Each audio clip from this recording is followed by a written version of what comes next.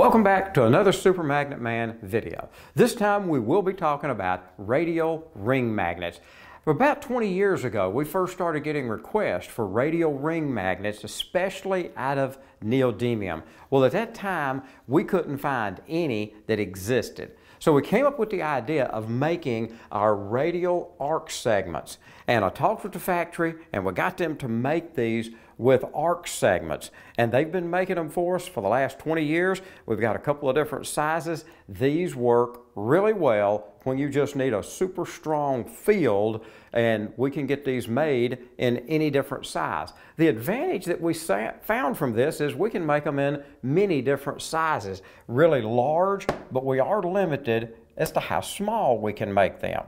All right, now we have the true radial. Several years ago, they finally perfected the ability to make a single piece radial ring magnet. All one piece, magnetized from inside to outside. And on the inside, you have one pole, and on the outside, you have the other. So we could have north here and south here. That gives us a true radial ring. Another technique people developed several years after the arc segments came out was why don't we just push two axially magnetized magnets together with the poles repelling and create a radial ring this way and epoxy it together. And that works, but they're a little bit hard to make. So what we want to do is take a look at the difference between these magnetically. What really makes these different? And so we'll start with the arc segments and the true radials. They are true radials because the inside circumference has a south pole or a north pole, and you have the opposite pole on the outer circumference. So if you look at the flat faces, you get this profile. This is the magnetic profile with you see the flux come out here and loop around. That is a true radial. Now when we push the two ring magnets together, it's a little bit different. And that's why I wanted us to take a look at this. If you do this, remember your faces of the ring is north versus north. So when you push those together, you force the field out in between them. Now what you get is a north on the inside and north on the outside, and you're getting the opposite pole on the flat surfaces. So this gives us something different to look at. And one of the things we're going to do now is take a look at what that flux pattern looks like, and we'll show you our setup and how we got that information. To take a look at the field profile or the flux profile on these magnets, we wanted to create our own setup where we could get the information as we go around it. So we have a laser cut table that allows me to rotate around the magnet in 10 degree steps. And that's some of the readings you'll see in just a minute. We're using our Gauss meter that's given us an XYZ Gauss meter. It's a three axis probe, so we're able to find the exact spot where the magnet is the strongest going up and down. And then we back it up so that it is exactly touching the surface of the magnet.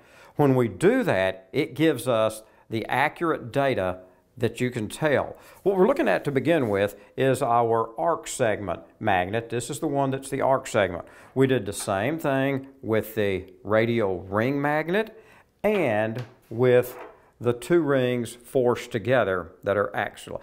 And you'll now see the data as to what it looks like with each of these different flux plots of the outside circumference of these magnets.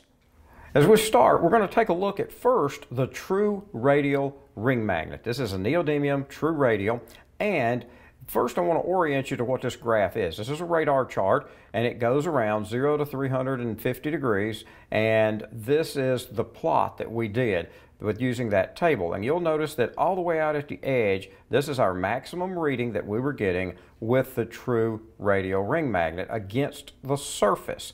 Then we go into the green line, and the green line is three millimeters away from the surface. Every reading was taken three millimeters away. And then the red circle that's down in the middle was with it six millimeters away from the surface. So this gives us an idea. Looking at it with actual instruments gives us a very smooth plot. Now we'll take a look at what the modeling software tells us. We did the full model of this as a radial ring magnet and this one gives us just exactly what we would expect, a nice smooth field all the way around it. And if you look down at the bottom, this is like a cross-section cutaway. We did a second model so we could see what the field looks like at this point. And you can see the flux travels through. You're going to have one pole on the inside circumference. You have a different pole, the other pole, on the outside circumference. So the flux travels around from one circumference to the other. This is a true radial. Now we're going to take a look at the arc segments. The arc segments are the common ones that we see, and you'll notice these dips on the readings. That's where the magnets meet, and they're, they're touching each other, so there's a little bit of a gap here, and it gives us these little dips. The blue one, again, is on the surface. The green one is 3 millimeters away, and the red one is 6 millimeters away.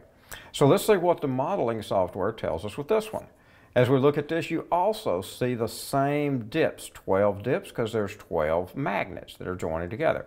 You can also notice when you look at the cross-sectional area down below, you'll see that the flux is coming out and going around, and it is giving us a true radial profile exactly like we would expect. One pole on the inner circumference, the opposite pole on the outer circumference. Now we're going to look at those repelling axial ring magnets. And when we look at this one, you know, first I want to explain, it's still to the same scale, but you see this sort of flat side. This is just due to the creating of the ring. I think the air gap is a little bit more. The epoxy layer might be a little bit thicker here.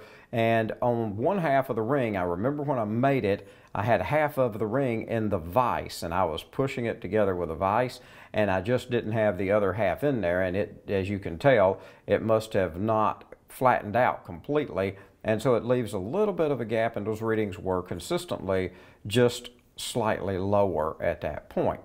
And now we'll take a look at what it looks like from the modeling software. And here you'll see this intense red field on the inner circumference and red on the outer circumference. And from the modeling perspective, that was a north pole on both of these. And that's what we're talking about. You look at the cross section and you'll see the inner circumference and the outer circumference are both the same field. And you can follow your little vector arrows and it's coming out of the inner circumference and going in the side. You check it on the outer circumference, it's coming out and going in on the sidewall. So it's exactly like we would expect and what we saw from the magnet data itself. Now we know that everybody would like to see these all at the same time, so we put them on the, the video together, combined them. Now that we've explained the graphs a little bit, full size, it'll make a little more sense to see them. From left, you see we have the repelling, then in the middle we have the true radial, and on the right, we have the arc segments, and you can see how each of these compares to each other. So, what does all this mean? Let's put together the pieces so that you can make the best decision for your application. First of all, we have the radial arc segments. And these are extremely good. You do see that imbalance on the field that's on the outside. But if you really need a large magnet, let's say you needed one 8, 10, 12 inches in diameter, you're stuck with the radial arc segments. That's the only magnet we can make a ring in that size. If you really need the higher strength, we got we have the full range of magnet materials that we can work with and put them in radial arc segments. When it comes to the individual single piece ring magnet, it's the most expensive. If you wanted 100 pieces of a magnet that was exactly the same size, comparing it to the uh, ring magnets or the arc segments, this magnet would cost you three and a half times as much per piece if you're only getting 100 pieces. If you jumped it up to 1,000 pieces, they're getting very close to the same price. 2,000 pieces, this would be a cheaper option. But that's what you're faced with is the cost. This also has size limits. They can't make an outside diameter bigger than about 60 or 70 millimeters. They can't make a thickness over about 10 millimeters thick at this time. So there are some dimensional constraints we would have to talk with you about on this one. Then we get to the ring magnets that are axial and forced together. One of the advantages is you do have the same pole on the inside as the outside, I mean, as the inside circumference as the outside circumference. That's the same pole. And it gives us some interesting things we can do. We got a little mocked up sample to show you. This is one where I have, these are ceramic ring magnets, axially magnetized, that I have glued together and I have got them in this wooden frame so that we can demonstrate that we create this push-pull effect. Since the inside of this is north and the outside of this magnet is north, they want to repel each other. But since the face of this magnet is south, it wants to be attracted. So it allows it to create this spring effect and it just sort of stalls out in the middle and will stay there. Now it's not holding and suspending in three dimensions. I have the holes and this shaft that are holding it in the third dimension. But as magnetically, it is perfectly balanced and just stops at that point. So I wanted you to understand the different options that you have available to you when you want a radial magnetic field. So if you have a specific application using this, don't hesitate to ask us because we'd love to help you solve that problem. Thanks again for watching.